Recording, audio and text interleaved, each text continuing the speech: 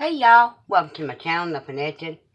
Um, what I have here is a very, very thick pork chop. Bone in. Um,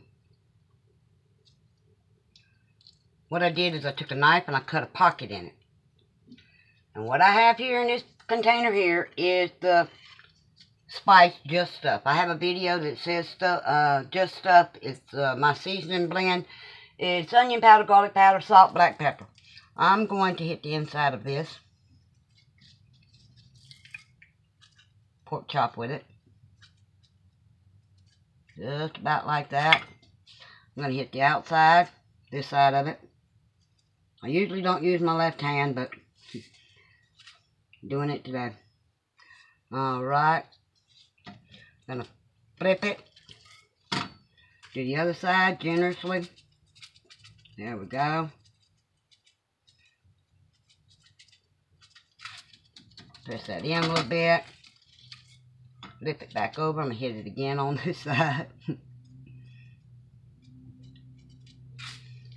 okay, there's little rice particles coming out of my little shaker. Nah, ain't nothing but thing.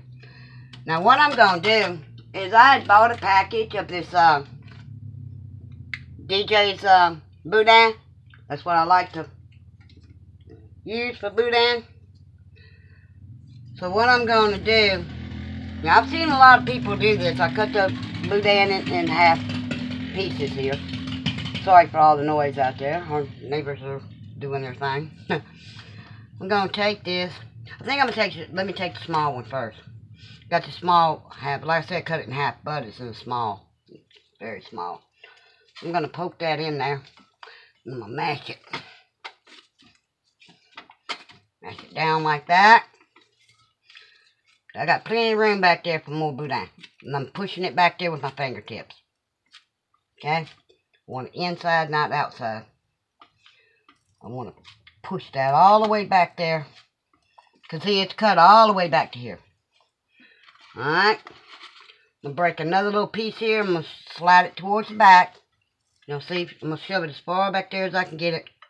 Like that. Smash it. So I want this thing mega stuffed. Alright. Then we're going to take what's left here. Break it in a few pieces. I'm going to shove all that in there. It's not going to be hanging out the outside when I get done, hopefully. Alright. Get it in there. This pushed in there. Hoping my hands are not in the way too much. Okay. I'm going to smash that down. So I want that boudin inside, not hanging all outside, be in the bottom of the pan somewhere. Okay.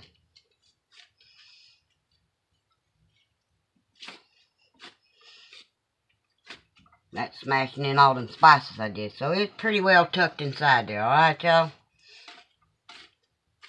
It's going to be so good. Now I'm going to be baking this. At, I'm going to move this. I'm going to be baking this at 350 degrees. Probably 45 minutes. If not a little bit longer. And I will be covering it in foil. The, ring, the gloves hung up on my ring. Sorry, y'all. I'm going to come back across the top there. A little more of that spice. Can't have too much garlic and onion powder anyway. Alright.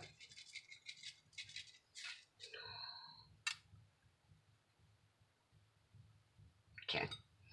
There we go. What y'all keep seeing me pick out, just when I make this, I add uh, rice to it to keep it from clumping up and drying out. Uh, it's just a thing that I do. Anyway, I'm going to put this in that oven at 350 degrees. Like I said, I'm going to wrap it in foil. And there's one more thing I'm going to do to it. Even though I am baking it, I'm going to add a little moisture to it.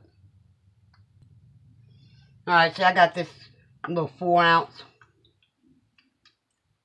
container here with water in it. It's going to steam it and help it keep it, you know, tender and make sure it's cooked completely through and through.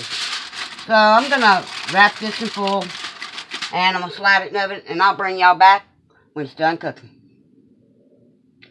Oh, more than likely I'm going to unwrap it drain the juices off and uh, broil it a little bit. But I'll bring y'all back. Okay, y'all. That's what it looks like 45 minutes later. And what I'm going to do is I'm going to put it on the broiler for a little bit. But on top here, that is garlic butter.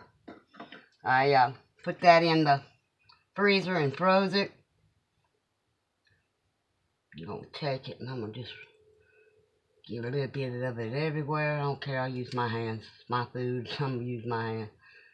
Put that on there like that. Put it in that broiler. And I'll bring y'all back. Okay, y'all. There it is. A done deal. Adding, this going to add a lot of flavor to it. That uh, garlic I put up there. Garlic butter. Garlic, uh, parsley, onion powder, salt, pepper. All of that. See that boudin. Mmm. Ooh. Yeah. Huh? I want y'all to see the full thing now. Y'all, that's going to make for one heck of a dick um, good lunch. I'm just going to cut into a little piece of this. It's completely done. Totally cooked. If I can just get it off that bone there. that little pocket. It ain't supposed to be pretty, y'all. Just supposed to be edible. And at this point, there we go. The pork chop's still good and juicy. Mmm-mmm. Juice is in it. The boudin flavor. Some of it popped out. Because you know when meat cooks it shrimp. That's fine. You get stuffed pork chop and dressing on the side. Mm-hmm. Mmm. Well, y'all, if y'all stuff pork chops, y'all tell me what it is y'all stuff y'all's with. I think you can plate this up and chow down on a good lunch, y'all. So, anyway, thanks for watching. Please like, subscribe, and by all means, leave a comment. And hey, y'all, y'all do something nice to somebody today. This is Nuffin Edited, and I'm out.